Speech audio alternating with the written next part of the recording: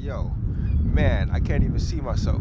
Shit, there we go. Fade the background. That's it. Track my face. Awesome. All right, so maybe the clouds are like gone right now, but um, yeah, I'm still trying to get on comfortable on camera. And yo, with my ambition, right?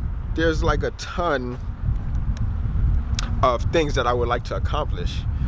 You know, I set like these very high goals and these very high standards, and I'm trying to navigate um, through these obstacles that I face on a day-to-day basis, and constantly try to communicate that to my journal, my vlogs, and my my written journals.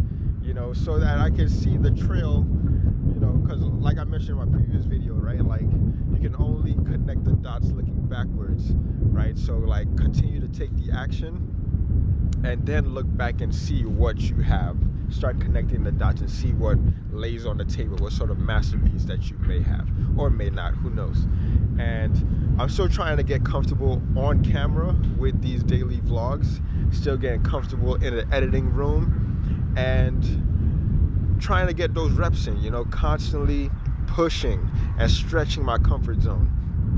And I quite haven't got it figured it out yet. So Uh, I haven't quite figured it out yet, but constantly, every single day, I feel my brain just working in these magical ways, right? I'm starting to tap into that infinite power. And it got me thinking about creation, right? We are put on this earth to create. And I, I talked to a client this morning, and basically, what I was saying that you do not know who's looking at you as a role model, right? Who's like trying to dig themselves out of you know whatever funk it is that they're um, going through. And through your actions on a day-to-day basis is impacting you and those who are surrounding you right? You are the average of your five closest friends but then you are the average of the people that you interact with on a day-to-day basis.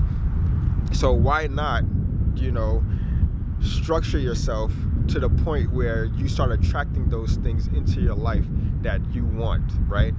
So you start behaving in the manners that you want to attract, right? Those sort of things, those uh, experiences that you crave, right? Start putting yourself in those environments and those situations so that you know that becomes your life, that becomes your reality, right?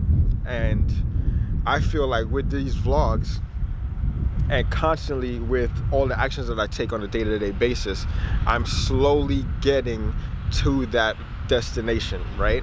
But then who knows if it's slowly or if I might be operating at a faster pace. You know, it's all perception, right? So it's like just continue to do those small little tasks over time and they compound and then stretch your comfort zones along the way and see where that leads you, right? See where it takes you. And like you know day to day i'm starting to realize like yo becoming more aware. Because that's what we're chasing right? We're chasing awareness right? And as we become more aware we can attract those things into our lives. The people the opportunities the experiences and constantly evolve from there. And as we evolve the people around us evolve as well. And i'm trying to enhance the frequency and intensity of those experiences so that the evolution is a lot faster and the growth happens a lot faster, right?